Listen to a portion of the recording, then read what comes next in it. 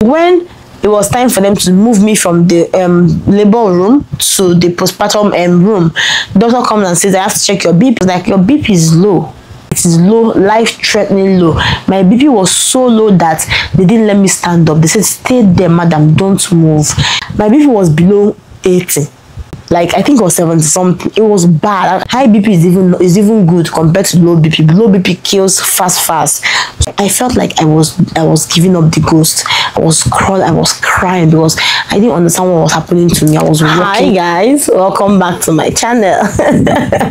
See guys before we go right into this video i want to just appreciate melly styles. Guys melly styles is on this wig if you know you want to get any kind of afrocentric wig raw human hair blend any kind of human hair at all any kind of hair at all go to my listers on instagram they sell amazing wig this wig is so lush it feels like it feels so soft so nice it is very beautiful and i'm using it and rocking it today so if you know you don't like to do too much with wig just like to get up and put on wig this wig is for you i just literally removed from the bag and put it on my head and I didn't have to do anything much. So shout out to melly styles. They say awesome wigs. Go and tell you are from Enkay and they would give you a very good discount. I promise. I I'm not lying. Hi guys, welcome back to my channel. Your favorite girl NK Unfiltered and as usual on this channel we do what? We rap. Drum roll please. we rap. We rap on this channel. So you have to what? Keep up. You have to keep up. I don't miss saying this and nobody come and tell me you're talking too fast I talk too fast. It's the default setting. If I start talking slow, slow, I'm trying to form. I'm trying to pretend. So if I talk fast, know that it's I have gotten comfortable. If I'm not comfortable with you, that's when I talk slowly. When I'm comfortable with you, I rap. If I am nervous, I rap more. irony. I don't know why is it like that. If I'm nervous, I rap more. If I am comfortable with you, I still rap. But if I'm just being on a normal level with you, I just talk quietly because I feel like you will understand me. So on this channel, we do what we rap. Hi guys, if you're new here, my name is Nkiru Arinze. I'm a YouTuber and content creator based in FCT Nigeria. And on this channel, we do motherhood content. I am a mom. I am a mom of two boys. I am a content creator. I am a lawyer. I am a wife. In anything you do, what do I say? Don't forget, say pales and keep me and push me for house. I give you motherhood content on this channel. I give you vlogs. I give you real life issues. I give you real life situations. I give you a real unfiltered life as a mother. So do stay tuned. Like my videos comment on my videos subscribe to my channel turn on the post notification and give this channel what? A thumbs up. Like my video by that that's what I mean. On today's episode, I'm going to be talking about how my health deteriorated when I had my second baby. And if this is a video you know you're going to love and enjoy to watch, do stay tuned and let's get right into it.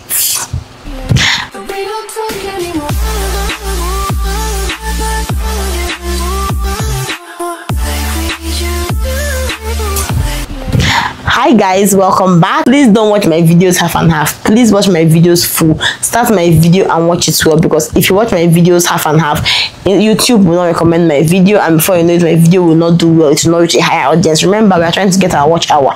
We're, we're demonetized we're trying to get watch hour. Please and please and please watch my videos. So on today's episode i'm going to be talking about what happened to me after i had my my second son. When i had my first son i didn't have any issues. I just was it was beautiful. It was it went well. It just ended. But my second when i had my second son casey I, am, I was in labor for a very long time and I was distressed. My son took cord and tied his hands. Yes. So I was in labor for very long. I was dilating well. No, hold on. I was having good contraction, but I was not dilating well, which means I was not getting close to having that child. So it was really a struggle. And looking at it now, I don't know why I went, I did not opt for CS. I don't know why I was stubborn to keep trying to have that child. I don't know why I was stubborn to saying, I don't want CS, I want normal i want to do vaginal delivery maybe because i'm some kind of person that I don't like to it to be. I don't like it to be as if I tested everything. Yeah, you did normal. You did um, vaginal delivery. You did CS. You went through pregnancy. Everything I tested it. I don't like to test everything. I don't like Nkemal DH. My name is not Nkem DJ. I was praying to God. I was crying to God like God. I'm like, why do I have to test everything? I just want to have this vaginal delivery that I had the first time and get it on. I just want to end it at that. So I was having good contractions. It was coming every like every minute for and lasting for 30 seconds. Sometimes it comes every two minutes and lasts for 30 seconds it was good contraction but i was not dilating i was on zero cm for the longest time. Even after, the, after they ruptured my membrane i was still on zero on zero cm it was eventually after i prayed to god i begged him because the doctor was like if you don't if you don't progress i will really aim for cs but after i prayed to and told god please i don't want to do cs my god my god my personal lord and savior answered my prayers and i dilated to 2 cm it was a sign that god was present and he wanted me to do this. So i was very happy and i was very very grateful to god. I am still grateful to god because um, i don't know how it happened now i don't know how the nigerian system i don't know why you people were doing some of this scan, and people cannot see that cord tied that baby's hand. Why it was not detected during um, all my scans or my recent scans? I don't i don't understand. Because i had a very good doctor. I was in a very good hospital. But i still wonder how and why it wasn't detected. If you're a doctor and you know how this works why wasn't it detected? Because i don't even understand. It wasn't detected fast. They didn't know I, my son used the cord to tie his hands. Maybe it was bent. Maybe it was curved. Maybe he covered that hand. I just don't know. So he wasn't coming out the thing was restricting him and was, he was in distress i had to use oxygen all through there i think i was in labor for 22 hours. All through no it wasn't up to 22 hours. It was up to 22 hours. 22 hours means it's 22 hours. So i was in labor for like 18 hours yes. So my son had to, i had to use oxygen for all those number of time. Like for those hours i was in labor i was using oxygen because of my child. So i would keep giving him um, oxygen. His heart rate was fluctuating up and down up and down. Well I'll, someday i'll compare my first pregnancy um, my first um, delivery and my second delivery but today that's what i'm that's what i'm doing i just want to tell you guys how my health went. So i was he was in distress for a very long time and i was in distress which means i wasn't going to eat fast because you know when you're in labor you really you have appetite to eat. I was not even taking anything. The liquid was not even taking liquid i was just not in the mood because i was in so much pain. I was crying. I was begging god because i was in stress. I was in so much distress.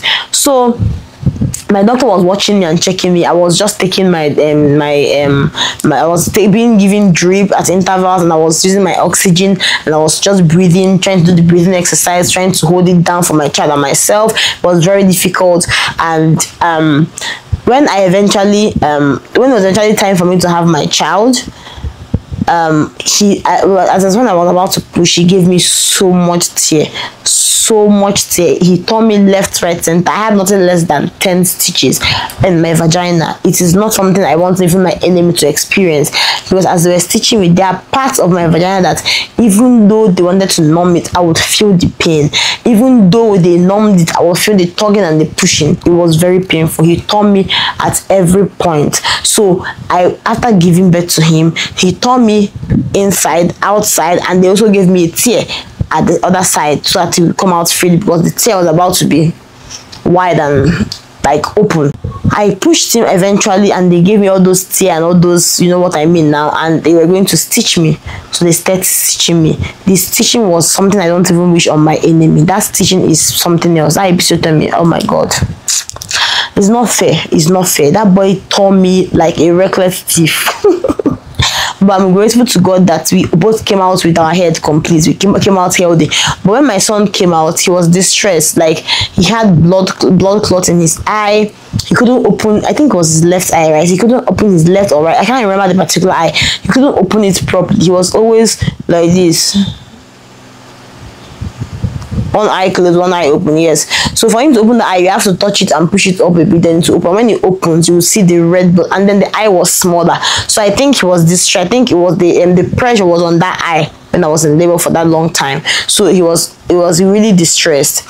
So when um they brought him out and I saw those, I was just praying to God, thanking God for everything. So when after a while they started cleaning me, I lost blood actually. I lost not a lot of blood, but I lost blood. So they were cleaning me, cleaning me, they were packing urine, packing uh, sorry, packing blood they packed a lot of blood from me. So when it was time for my mind you let me say this.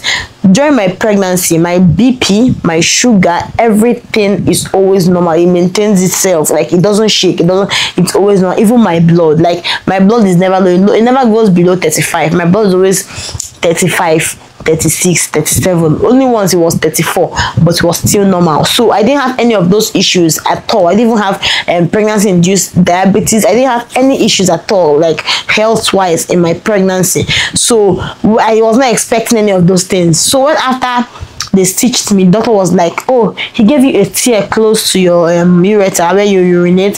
So we're going to we're going to have to put catheter for you. I was like eh she said yes unless you want to bear the pain that you're going to ease yourself your first urine. I was like you know what? Put the catheter. I hope it's not painful. She said no it's not painful. I have to put it for you. So i waited and they put the catheter for me because i had to be urinating while i'm on my bed so i don't frequent the toilet number one because of infection because the tear was plenty. So i stayed on the bed i was bleeding. They were always cleaning me up. I was not bleeding excessively. It was normal bleeding but then um, they were cleaning me and they were watching it they had to keep me for observation. So when it was time for them to move me from the um, labor room to the postpartum um, room.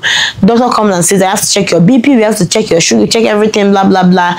When she came, she checked my BP, she was like, your BP is low your bp is low and it is low life threatening low.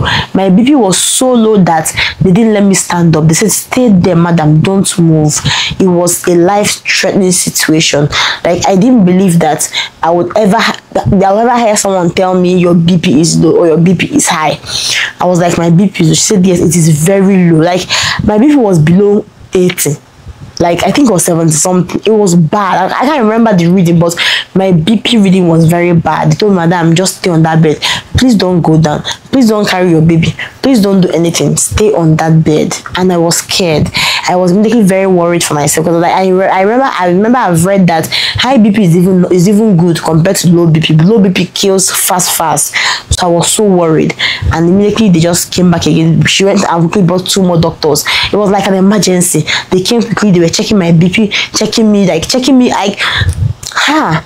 They were checking me with so much force and so much speed. They checked my blood, they checked my BP, they opened my eyes, they were checking me like it was like a thorough examination because they were really worried for me. So they are like quickly bring drip, bring this, bring. They couldn't even wait to go and say they should go and make payment. They quick. That's one thing I appreciated the hospital for because that hospital will say bring the man, the man should go and make payments, bring this, bring that. They knew that I was already in their care and they needed to act fast. So they quickly rushed and brought drip, quickly inserted it and put the drip to running fast. That drip was running fast. They were trying to resuscitate me and okay, sorry, not not resuscitate, but trying to bring my BP back up. So I don't know the BP, the um, the drip they gave to me, but it was helping my BP. It was taking it up a little bit. I finished that whole bag in 30 seconds. Yet I mean, 40, in 40 seconds, I mean, in a minute or so. But yet, my BP was not up to where they wanted it to be. Then they said, you know what, am I going to give you another drip? I gave birth around 10. I was still under my hospital bed. Apart from the fact that there was no room for me to move to immediately, I was under my hospital bed till like till like four. I went to my room around four. Yes, because I remember that Aisha and Cassie had already come before I went to my, room and they came in the evening. So I went to my room around four. So I was there for a very long time. So they quickly put another drip for me and they were monitoring me, checking. Say, please lie down, they don't move, don't do anything stressful. They took my phone, they told me just lie down and sleep. You need to sleep, rest. So I laid down and closed my eye. By then I had already eaten. They had given me food to eat because now they said I was distressed. The whole long, prolonged labor really took a toll on me. And I knew that because I was very tired. I was crying all through. I had nothing to eat. I was stressed. I don't know what causes low BP. I think I don't know. I think low BP has to do with sugar and all those things. I can't really tell. I, I, in fact, I'm confused. But that was that was that was what I had. So if you know something about low BP, educate us educate us in the comment section because I'm sure some mothers go through this too. I know some people have high BP after giving birth.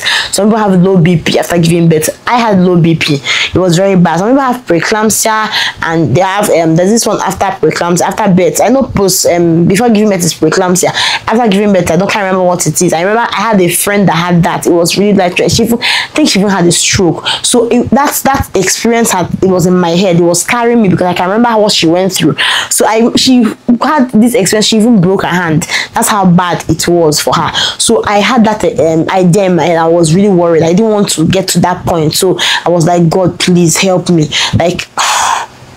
I can't believe I was going through that. I don't want to cry. I told myself I'm not crying in this video, so I'm going to just be as plain as I'm going to be and be careful. And I want to cry, I'm going to pause. So this they were able to resuscitate me and give me glucose or um in my drip to help boost my BP. So after my second the second um, um pack of drip, told me okay they can now take me to the ward. They didn't let me walk. Well I just had the baby and I had a plenty stitches, so of course they won't let me walk. They used the wheelchair to take me to my, my, my room with my baby. So as I got to the um room, they said they told them to please check my BP again. After that, like the um from the labor ward to the room was like um 20 um like five minutes. So they checked me again. They said it's not so great but it's okay. So please take a lot of fluids. Stay hydrated. I can remember stay hydrated. So i remember cassie came with kunu aya so she gave me kunu i was drinking the kunu i was taking plenty water. They gave me drugs. They had plenty drugs. They gave me to start taking immediately to help my bp and to help me um to help my my general well-being as i just had the baby so i was taking enough fluids like taking plenty water plenty kunu aya the kunu that's the best when I finished it that day. I took plenty of it. So it was also nutritious for me because I needed nutrients. My body was weak, my blood was weak, which means my BP was low. And I think it has to also do with my maybe my blood was shortened or something. I don't know. So it boosted my, my, my BP. Before they discharged me the next my BP had come up. However, I still battle with this BP. Like now, last two weeks, I went to check my BP and my BP was low. My BP reading is like 94, 96 over 80 something. I can't really remember. I'm not really good at all this. My one is one that's really good at it. It's one that makes sure I check my BP. It's one that makes takes. In fact, every time you take me, let's go and check your BP. I remember when after um, um, um when I had Casey, a month in of having Casey, one day I was about having my bath. I, I I'm not a big eater, so I rarely eat. So I I was breast I'm breastfeeding. I was breastfeeding exclusively that time. So and I was also pumping almost 12 hours, 12 times a day. So I wanted to have my bath that night, my night bath, because I tried to have my bath constantly to avoid smelling. So I was going to have my bath that day, and I was so weak. I started crying. I couldn't stand up. I sat on the floor bath and I was crying. Brother was um, in the room, but he couldn't hear me. So I was just I started crawling quietly. I was crawling to him. I, I felt like I was I was giving up the ghost. I was crawling, I was crying because I didn't understand what was happening to me. I was walking, crawling quietly to the door. I was calling him baby, baby, baby. Like this how low my voice was. It was I was very weak. And so when he I just told him, please can you get tea for me? I need to take tea. So he quickly ran out and brought me tea for me quickly and brought it for me to take tea with me and milk. And by tea I mean milk and Milo. So I quickly started drinking that. He rushed, called his mom, thought please bring her BP apparatus. They checked my BP. It was normal. But now I'm really thinking about that normal was not normal. It was like that same 94, 96, which it is now. So he was like, ah God, what is what could be wrong? So just have your bath. He took me in, he baited me, gave me the I finished my tea, then he put me down. My mom said, you know, okay, don't worry, just I'll stay with the baby today, just rest. And they left me to rest till the next day. But I didn't wake up the next day till like I think I didn't wake up next till like 11 a.m. They left me to sleep and I needed to rest. Just to me, just rest, just take a rest. Because for your baby to be low is not nice, it's not good. So it was very good that I was keeping tabs on my health, even though I was being careless about it. But now I'm conscious about it because when I went to check my BP last week, it was still around that range 94, 96. But when I now spoke to my friend as a doctor, she told me, you know what, sometimes your BP has is really relates with your height. Small people, don't call me short, don't call me short. Small people usually have that range of BP, but you just have to watch it and make sure it doesn't go lower than that. So I was, uh, they recommend recommended i think um, um i started taking folic acid again i started taking my iron um, b complex i said i'm taking all i'm on those supplements. I also make sure i take my vitamin c every day. I take my vitamins very well. I take it seriously so that i don't go very low on my vitamins and then my, my vitamins going low means that i have bp and i become anemic. So i'm very very careful with it. So i started taking i started taking all these supplements. I try to keep my health in check. Now mothers you need to keep your health in check. We have had children. Our bodies are not the same anymore. I know that we might feel perfectly fine, but inside we don't know what's happening inside. So take your do your routine checks and take your routine drugs. Folic acid um b complex um iron calcium take supplements and help your body recuperate. I help my body now because i realize that i have two kids and my body cannot be the same. I'm not getting any younger. I'm in my early 30s i'm not getting any younger. So i need to take care of my body. Go for regular checkup. I did my um, i checked my bp regularly and now i also went to check my full blood count to make sure my blood was okay and very in very in um, enough quantity so i know what is happening to my bp so i always try to do all these things because we need to be alive for ourselves and for our family. So always always check yourself check your health and prioritize your health at every point in time. A friend of mine said she was sick and she was thinking oh if i take my drugs who will take care of my children? And eventually she fell down in sickness. She fell really ill. She was literally on the on bed rest. So now who lost god forbid something had happened to you. You said because you are trying trying to be there for your children. Please take care of yourself yourself first before any other person because if something happens to you the world moves on. Life goes on. Sharp sharp thank you so much for watching this video and i hope you enjoyed yourself. I also hope you learned a thing or two from my experience. I remain the Enkay unfiltered girl that brings you real life situations and real life experiences using herself as a pet project. Remember to like this video. Remember to watch this video to the end. Remember to comment on my video. Remember to subscribe to my channel and also put on your post notifications. Thank you so much for watching my videos and i'll see you guys in my next video. Love you all. Bye